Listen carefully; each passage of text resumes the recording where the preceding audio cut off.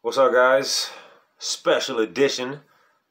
Unboxed my beers earlier today. Uh, just broke my fast like 30 minutes ago. So now I'm ready for a beer. And I'm going to start. I know my unboxing, I think I said I was going to start with the fishing beer. I changed my mind because during that unboxing, I didn't get to this yet. And I have been missing this since 2016. It was the last time I had this. Now, this was my favorite IPA at the time. Like I said on a couple of my videos, one of the best IPAs I've ever had. Lived in Charlotte. I drink this often. The hop, drop, and roll. I got on Beer Advocate today, and I normally get on Beer Advocate for just about all beers I review. And there's always one or two wise guys. If it's a good beer, if it's like I got a high rating, like in the 90s, like this has a 95. This is world class um, or outstanding. I think 97 or better is world class. This is outstanding. Once you hit the 90s, it's really good. It's hard to get to the 90s on Beer Advocate. Usually there's one there's one or two guys that say, I didn't like this. Or, it's something. It's always somebody, but not on this. Not one single person said a negative thing about this. A couple of guys gave this a perfect score, five out of five. But it was mostly like 4.5s, which is like that's like very good. All right, guys, we're going to jump right into this. I am so excited. Shout out to Wayne's Beer Delivery for making this happen for me. He's out in um, Charleston. He's in South Carolina.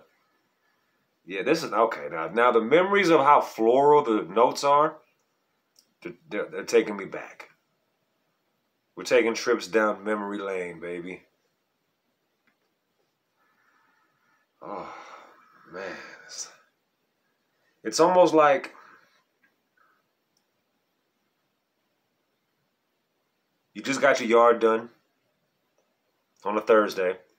Then you woke up early to take the dog out early Friday morning, and the scent of that newly chopped grass, and especially if you're using good quality grass, that's what I'm getting.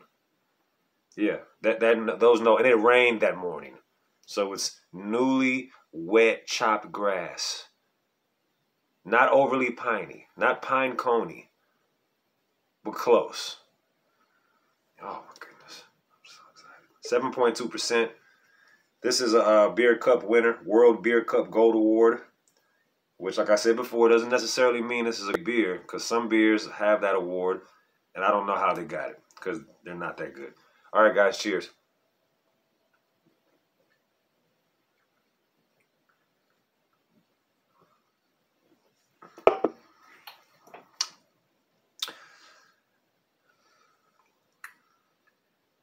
Yeah. It's coming back to me. Yeah.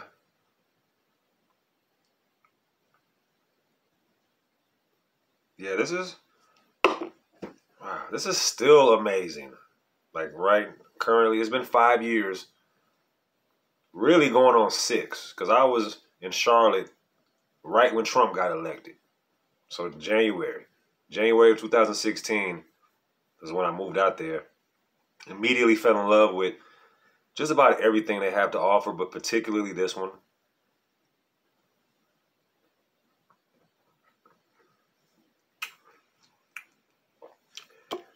I just get Cascade the most.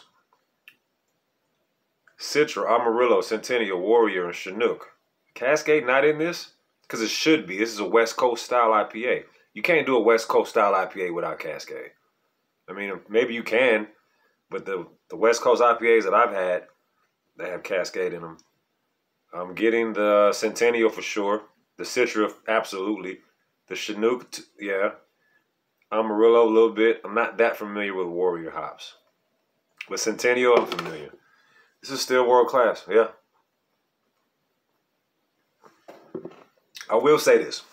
Like I told Wayne earlier, this may not be my favorite anymore because I've grown up a lot. And I was telling them, like, when I was in my late 20s, I didn't like stouts. Like, I tasted oatmeal, uh, Samuel Smith's oatmeal stout when I was 29. And it was like, eh, it was okay. I was a torpedo guy back then. But now Samuel Smith's oatmeal stout is one of my favorite beers, like ever. I love I love stouts. I've grown to appreciate them. So with that being said, the bitterness on this, maybe I've just outgrown that. That's my only takeaway from this. As I'm more mature, my taste buds have evolved. I'm a fully grown man now. You know what I mean? I was getting into adulthood when I first tried this. I'm a fully grown man now, so I can I, I like this still, but I don't know, man. I think stouts are becoming my new favorite. They just they just are. Even this past summer, I was drinking stouts all summer long, and that's not even some of the stouts I said they should be better, you know, paired on a Christmas mor- evening or a Christmas party or Thanksgiving or whatever, New Year's, something like that.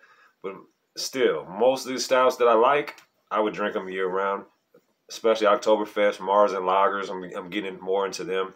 So with that being said, I still like this, but I guess you could say I'm slowly but surely getting over the IPA thing. You know, it's been about a 10 year run since I've been into the world of IPAs.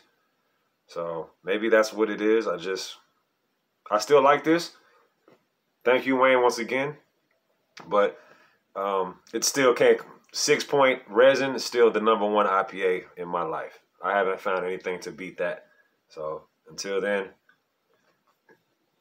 I put this in my top 10. But a little too bitter. You know what I mean? So, all right, guys. Signing off. Cheers.